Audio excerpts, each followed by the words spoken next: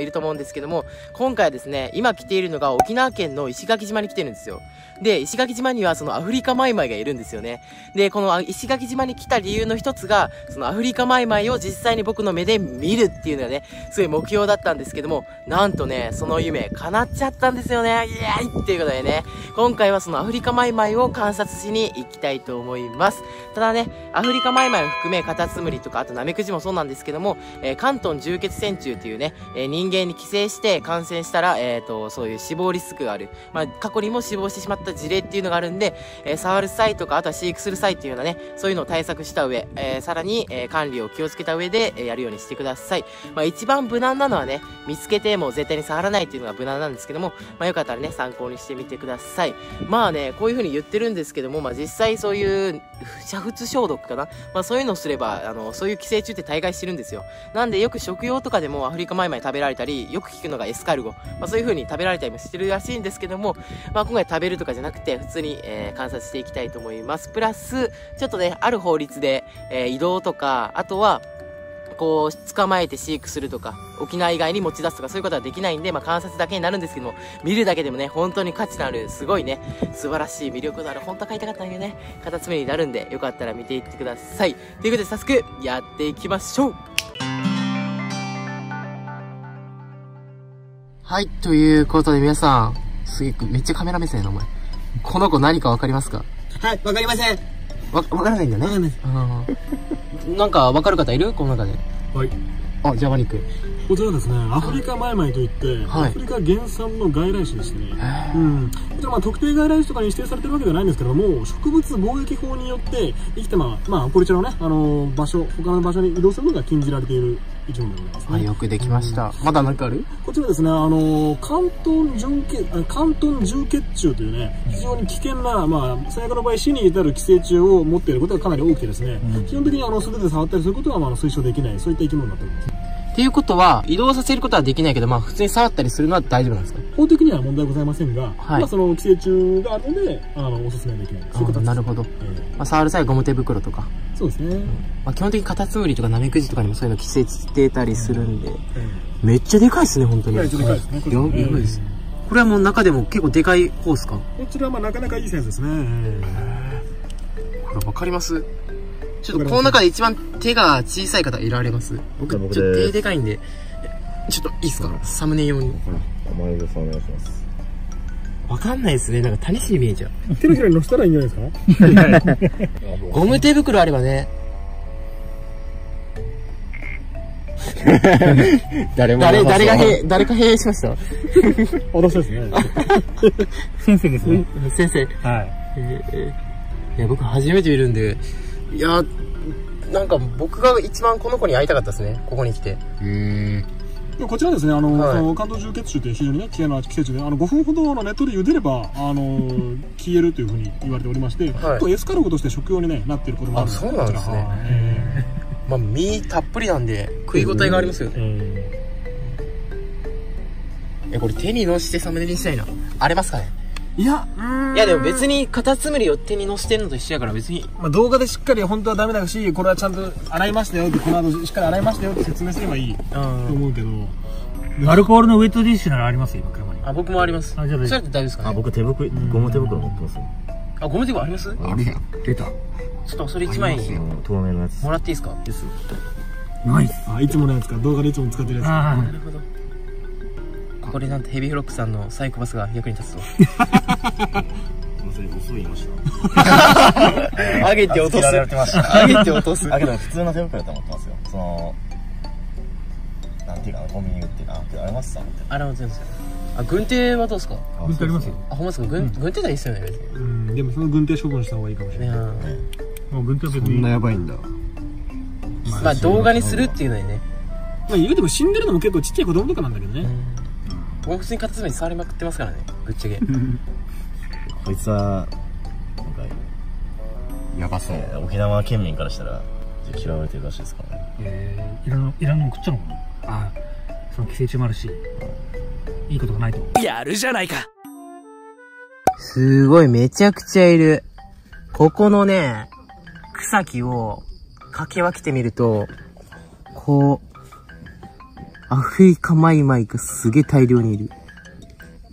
すごいね、これ。やば。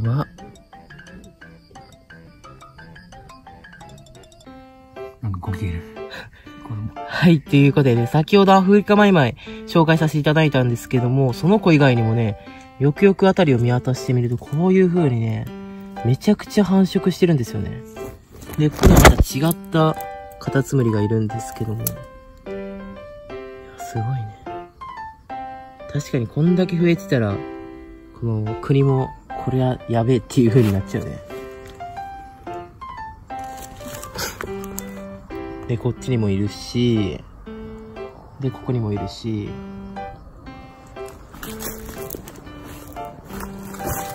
で、ここに、普通にこう、こう。で、ここにもいる。めちゃくちゃいる。畳1畳の中に3匹ぐらいいるんじゃないかな。ほら。すごいな。で、アフリカマイマイ以外にもね、そういう普段飼育されているカタツムリとかナメクジとか、で、日本でも出てくるよく見るチャコーラナメクジとかカタツムリとか、みんなね、このアフリカマイマイ同様、えー、関東重血線虫というのをね、えー、宿している場合があるんで、皆さんもね、飼育する際は必ず、えー、洗っ、触った後は手を洗いしたり、あと管理に気をつけたり、で、そもしくはゴム手袋をつけるなどして、えー、対策をするようにしてください。はい。いや、この子がね、そういう、規制とかかかってなかったらめちゃくちゃ飼育したいんだけどね、この大きさのカタツムリとか、やばいっしょ。すごいな。このカタツムリたちは何なんだろう。なんか見た感じはするんだけど、最初、アジアンベッコウかなと思ったんですけども、あ、ちょっとアジアンベッコウっぽいですね。どうだろう。僕が飼育してるアジアンベッコウなのかなどうなのちょっとわかんないですね。いや、すごい。しかも殻がね、結構硬いですよね。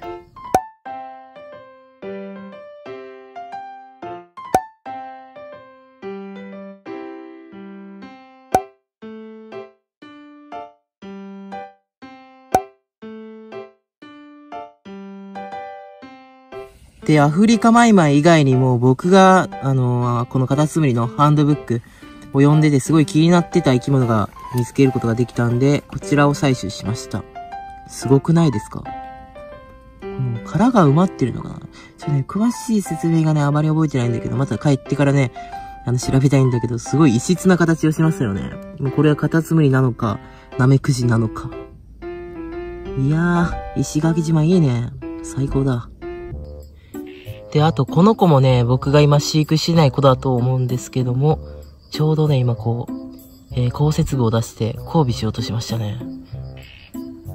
で、前の子がね、今、こうやって求愛行動して交尾をしようとしてます。いいね。ほら。わかりますか？この生殖器を出してるとこ。うわーなんか、エッチだなチュッチュッチュッチューって。右の子が積極的すぎて、ちょっと左が引いてんもんな。お、お、今度左が来たぞ。いいですね。あ、しかもこの子街頭膜が殻にひっついてる。いいね。かっこいい。また別の子もね、またこっちも交尾しようとしますね。もうここラブホテルみたいな感じですね、このカタツムリたちの。だから通りでこんなに増えるわけだ。で、面白いのが、こう、ところどころ、場所がバラバラで交尾してるんじゃなくて、ちょうどね、ここの位置、範囲で交尾してるのが、ちょっと面白いですね。本当にここの一帯が繁殖場みたいな、大浴場しますみたいな感じになってるんですよね。何かあるのかな違いが。ここの方が雰囲気があるとか、こういう草木があって。何なんでしょう。まあそれはね、カタツムリズ、のみぞ知るみたいな感じなんですよね。さあ、行くぞ皆さん見てください。ちょっと僕がずっと欲しかった。多分ね、この子、大毛マイマイか大受けマイマイかなんかその毛マイマイもいろいろいるみたいで、ちょっと家帰って図鑑見ないとちょっとわからないんですけど、その種類を見つけることができました。で、どうやって見つか、見つけたかっていうと、たまたまね、木の上の方に、こちらの多分、トゲナナフシっていうのかな？アキちゃんさんがね、すごい欲しがってる、この子ずっと死んだ真似してるんだけど、その子たちがいて、で、捕まえようと落とした時に、たまたま落ちた場所に、この子がいたっていうわけですね。いやー、不運なのか幸運なのか、幸運ではないのかな。いや、わからないですけどね。ちょっと、良かったです。はい、ということで、新たにカタツムリを見つけました。で、この子ね、今までのカタツムリと違って、この成長根と言われる筋がめちゃくちゃ細かく入ってるんですよ。なんでね、この子はまた違う種類のカタツムリだと思います。いや、家に帰って、ちょ、いつもこういう時ね、図鑑持ってくるのすんだよね。うん、今回で言うと、最終用のつなぎと、あと、電動シェーバーのコードは持ってきたのに、本体忘れるっていうね、そういうちょっと物忘れっぽいとこあるんですけど、やつ捕まえることができました。で、多分近くにもう一匹いると思うんで、頑張ってちょっとペアを捕まえたいと思います。はい、ということで皆さん、何が映っているかわかりますか？ここにね、以前動画で紹介したんですけども、青み岡谷氏っていうね、とても綺麗な谷氏がいるんですよ。どこにいるかっていうと、ここにいます。ほら。で、ここをね、辺りを見渡してみると、他にもね、いろんな、いろんなっていうか、複数の青み岡谷氏がいるんですよね。ほら、こことか。で、この子は、その、一箇所の木にいろいろ集まる種類みたいで、だから一匹見つかるとさっきみたいに、え今回のように、複数見つかるみたいです。で、この子ね、本当に飼育が難しくて、僕もね、過去に一回だけ飼育したことあるんですけども、もうすぐ死んじゃったんですよね。で、この子の食べ物が、まあ、最近になって、えー、すす病のすすを食べるっていうことが判明したみたいです。まあ、そんなすすをね、その、常に用意するっていうのはとても難しいことだと思うんですけども。いやー、イベントとかでもね、販売されてるんで、まあ、よかったら興味ある方はチャレンジしてみてはいかがでしょうか？皆さん、この子が何ていう子かわかりますか？僕の動画をね、いつも見ている方ならわかると思うんですけども、この子はアシヒダナメクジです。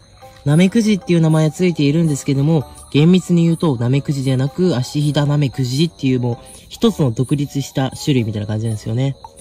で、どっちかっていうと、えーカタツムリとかナメクジっていうよりは、イソアワモチっていう種類の、えー陸生の、えー陸貝みたいな感じに覚えていただけるといいかなと思います。で、まあね、あのー見た目的に全然違うんですよね。まず、ここのね、ここ、体表部分が乾燥してます、結構。ナメクジとかカタツムリってヌメヌメしてるんですけども、この子は結構乾燥してるんですよね。なんで、飼育する際とかも、そこまで汚い、えー環境にはならないんですよ。すぐ排泄物が汚れたりとか粘液とか。なんで、どちらかというと結構飼いやすい種類になります。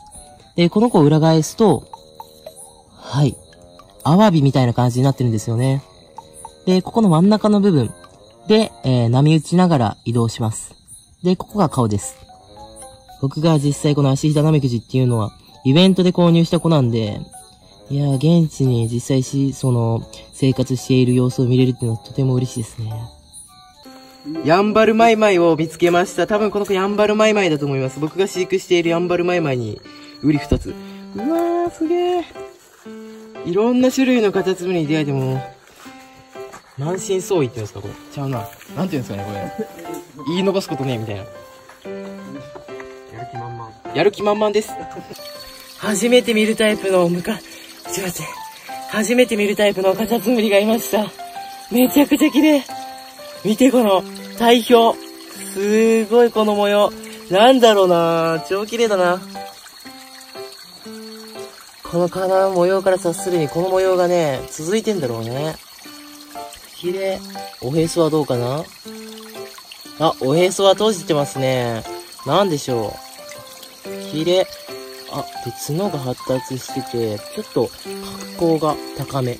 なんだろう、このカタツムリ。いや、嬉しい。まあこんなもんかの。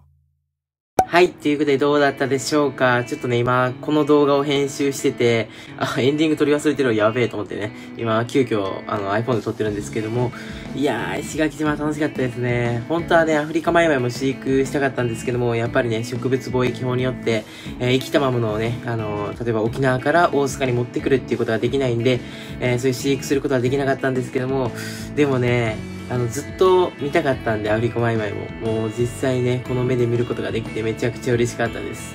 ただね、その石垣島の方にね、お話聞いた感じ、もうアフリカマイマイはね、もうめちゃくちゃ嫌われてるみたいですね。もう雨の日とか特にね、もうなんかタイヤで引かないと通れないぐらいいるらしくて、で、そういう農作物も外食害しちゃうし、で、そういう関東の充血症とかもあるしで、もうめちゃくちゃ嫌われてるみたいですね。僕からしたらすごいね、ね、素晴らしい素敵な生き物だと思うんですけど、やっぱね、その人のなんか立場によってそういう見方って変わるんだなって改めて思いました。はい。ということで、今回はね、えー、沖縄の石垣島での、え、カタツムリたちの動画だったんですけども、他にもね、いろんな動画上げてたり、えー、僕が飼育している爬虫類とか、気虫とか、両生類の動画もあるんで、よかったらそれを見ていただけると嬉しいです。そして、沖縄以外にもね、山梨とか、あとは、まあ動画ね、出てないんだけどね、まあ、いろんな都道府県行って、なんか、生き物観察しましたという動画もあるんで、また試合を見ていただけると嬉しいです。ということで、え最後までご視聴ありがとうございました。それではまた次の動画でお会いしましょう。バイバーイ。